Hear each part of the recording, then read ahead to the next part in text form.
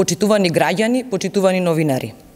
Парламентарното мнозинство, предводено од Социјалдемократскиот сојуз на Македонија, го усвои законот за финансиска поддршка на граѓани со низок доход, корисници на пензија, корисници на право на социјална сигурност на стари лица, млади лица, самоохрани родители, деца без родители и родителска грижа, уметници и други лица кои вршат дејност во културата, филмски работници и естрадни уметници. 27,6 милиони евра завршуваат кај 283.000 граѓани кои ќе добијат финансиска помош од 6.000 денари за купување на домашни производи. Ова ќе зајакне приватната потрошувачка и дополнително ќе раздвижи економијата.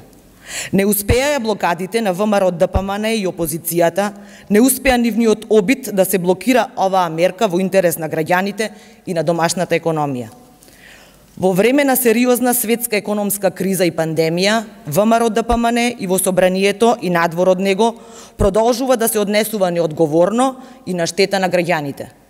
Блокади на крстосници во време на пандемија, ширење лажни вести и дезинформации, обиди да се подкопа здравствениот систем е она што ВМРО ДПМН и Мицковски им го нудат на граѓаните.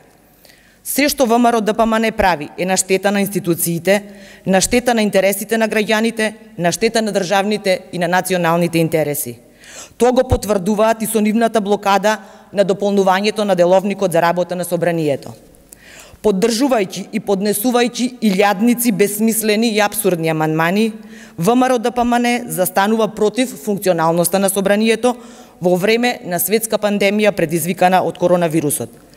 Измените и дополнувањата на деловникот на собранието се во насока на обезбедување поголема функционалност и ефикасност на законодавниот дом.